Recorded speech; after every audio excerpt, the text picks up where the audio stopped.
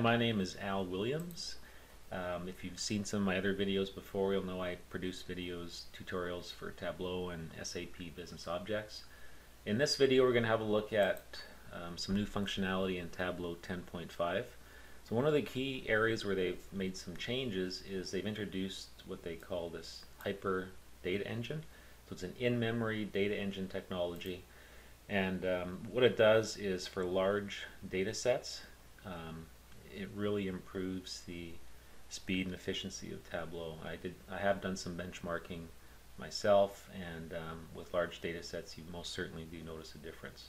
But this video isn't going to touch on that. What I'm going to be looking at in this video is one of the most anticipated um, areas of functionality I think in, in a number of years. So when I was at the Tableau conference in Austin, Texas in November 2016, they gave us a sneak preview of this functionality and then again in Las Vegas this past um, October they showed it again. So this is visualization in tooltip.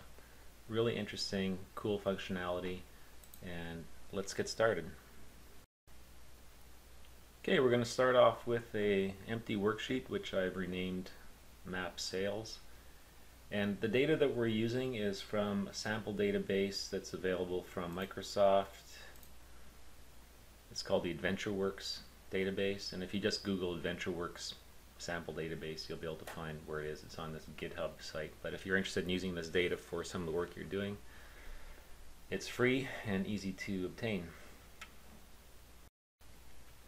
So I want to create a map showing the sales. I'm going to bring in the country region name and state province name and I'm going to bring in the sales amount into the detail. We should be seeing different amounts by province or state. I'm going to change this to this type of map. I'm going to bring the um, some of the sales also into color. Okay, so let's just zoom in a little bit.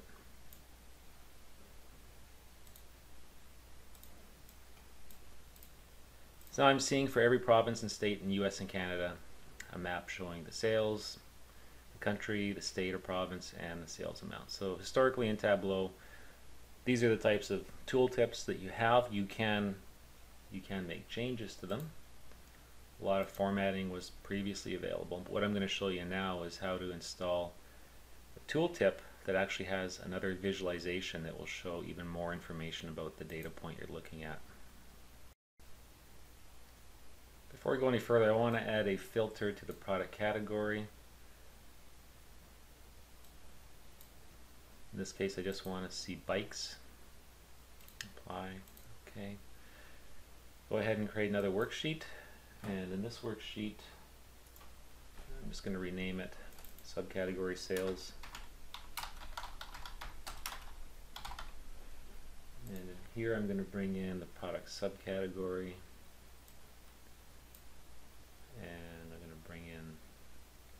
Sales amount, text.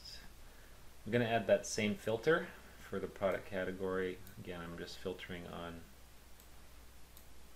on bikes here. So three different types of bikes. I want to have this type of table with the colors and I want to sort this highest to lowest. And we'll just make this a little bit bigger. And I want to add a total. Analysis totals. Show column grand totals. And I'm just going to change the formatting. Go to fields and pick the sum sales amount. So the grand totals I want the number to be a little bit different. I want currency custom. I don't want zero any decimal places. Okay and for default I just want number custom. I don't want any any decimal places here either. Just a few more formatting issues on this. I don't need to see this column header so I'm just going to say hide field labels for rows. This grand total um, let's put here by default as the label for the total. I'm just going to have this say total sales, so that's under header grand totals. So we go total sales, and I'll just make this column a little bit wider.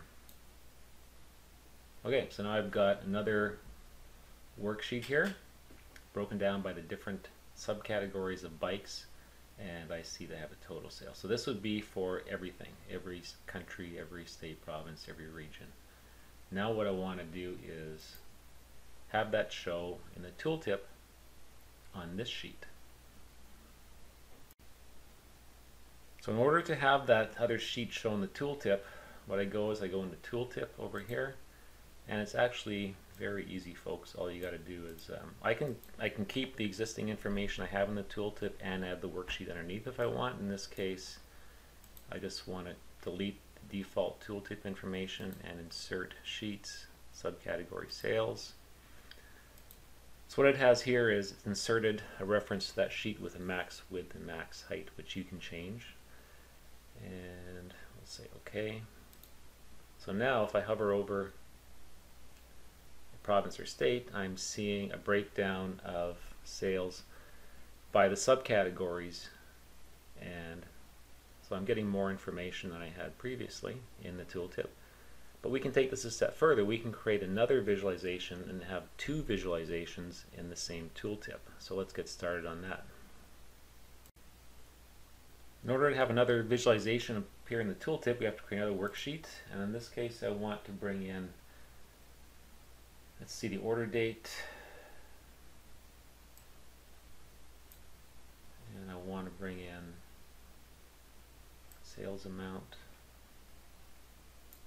and want to make it want to make the date continuous and I want to go down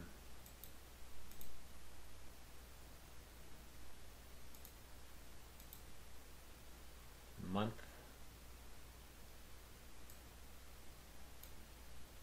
So I'm seeing a breakdown of sales. Total sales for every category by month and year. And I also want to make sure I have that same filter. It's important that I have the filter for the category because we're using just bikes here. Now there may be a way to tie this filter in to the original worksheet.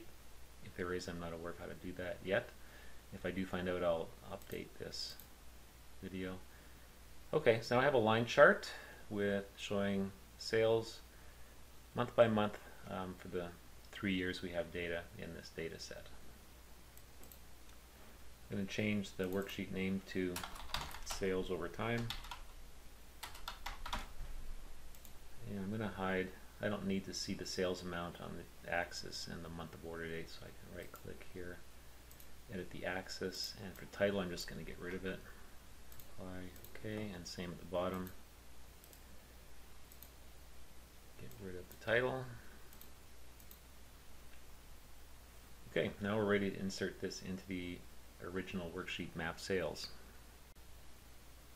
Let's go back to map sales and go into tooltip and I can go here add a space between, go insert sheet sales over time Let's just have a look at what this looks like now.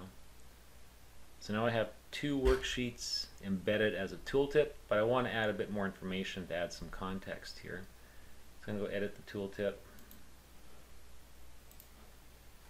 And I'm going to go up here and say insert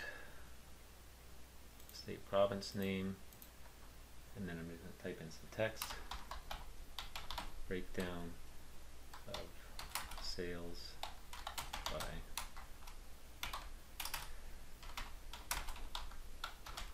subcategory and down here sales over time. Now I want to format this so it sticks out a bit. Give it this green color, 11, bold, center it. We'll make this color dark blue and this one the same and we'll also center these I guess we'll just center everything so it looks consistent And let's just click OK and see what we've got here now. So now if I hover over Alberta, for example, I'm seeing a label. This is Alberta, breakdown of sales by subcategory. So that was just text entered into the tooltip and sales over time and the two worksheets. So there you go, Tableau 10.5. Very, very easy to create very dynamic tooltips that provide even more insight into your data. So once again, this was Al Williams. I hope you enjoyed the video, and if you have any suggestions for other topics in Tableau you'd like me to cover, please let me know. One more thing, you'll notice on my website and the page headers I have Business Intelligence Professional, Amateur Bodybuilder, and Passionate Vegan. I've added a page to my site um, talking about my reasons for switching to a vegan diet, and um, if you're interested in reading it, please do so, and I'm always open to having discussions about that as well. So once again, thank you for your time.